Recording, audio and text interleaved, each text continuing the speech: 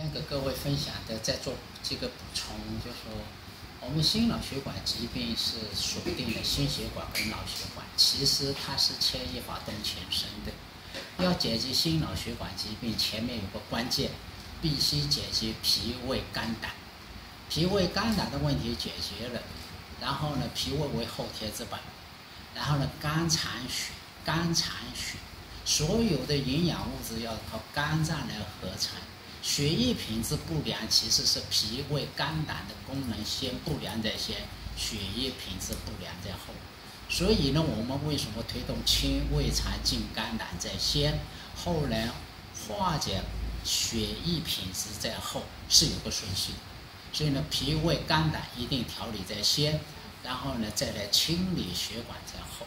清理血管又有个顺序。我们现在这个血管轴状硬化。血管内壁的斑块，那要怎么清？我们都知道，我们吃纳豆激酶种种的，纳豆激酶可以抑制血栓的形成，只是防止你中风。但是血管内壁的这些沉淀物、血管的轴状硬化、血管的内壁增生、血管动脉里面的斑块，那是一件很困难的事。所以呢，今天为什么会用蚕丝蛋白酶？来把它疏通呢？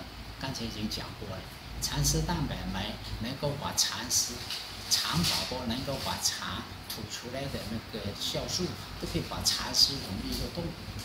那么研究人员科学发现说，其实能够溶蚕丝，是不是也可以来把动脉里面斑块呢来溶解？那么答案是确定。所以呢，它还有个要领。它只对惰性的、实期活性的蛋白质产生分解作用。你看，我们都知道血管也是蛋白质啊，血球也是蛋白质啊，最多对活性的蛋白不发生任何的负面的作用。这个呢，通过在美国大量的临床和这个实验，这个都是确定。在美国，这样东西其实用了二十多年，在欧洲也这样用，只是我们东方人呢，现在还是很少用。我们用的是丹参啦、川芎啦。这些是中药材也有用，但是要把血管内壁的斑块溶掉，讲实在话还真是个难题。那今天何其有幸，我们知道在自然疗法里面，在西方人家已经用，那当然该用的人就会用，不懂的人还是不用。那么这些想是跟大家来分享。再说一遍，胃肠、肝胆要清理在先，然后呢，脾胃调理的很好，脾胃为后天之宝。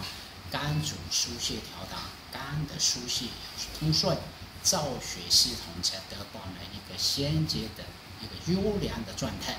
再来把已经沉淀在动脉里面这斑块慢慢溶掉，再加上一些黑白木耳的活血化瘀，在这个里面灵芝也扮演一个很重要的角色。总而言之，是一个立体的做法，而不是靠一个做法。最后强调一下，我们在这个里面有一些朋友有好处。饮食要节制，所以基本的生活条件要粗茶淡饭，尽量少吃，啊，多吃蔬菜水果，这些都是先决条件。要运动，那么把体重做一个合理的控制下来，这样的话才会有一个好的结果。大概这样子。哦，我刚刚听了说这个蚕丝啊，蚕丝酶啊，那这个东西在天然的的时候是什么怎么怎么样来的呢？我们总不能把那蚕蚕宝宝吃下肚子里去吧？呃，这样子哈，因为现阶段呢，就说我们科技是发现自然，善用自然，所以不是讲生物科技。所谓生物科技啊，你看今天的很多东西都不是用微生物的科技吗？这个就是个微生物的科技。我们是发现了蚕你肚子里面有这样的微生物，我们把这些微生物。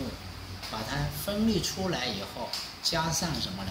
在在目前美国的药厂，他们可以做这个创造一样的这样的条件，提供它这样的条件，微生物买二十分钟成以了，买二十分钟成以了。也就是说，当一期条件很好的时候，这种东西量产它不是问题，它不是要去一只一只的长期抓，那要抓多少蚕？把肠肚子里这微生物分离出来，加以培养。用人工的培养方式，那么获得这样的一些蛋白酶，是这个意思。OK，了解了解。好，谢谢，呃，何社长帮我们的解说。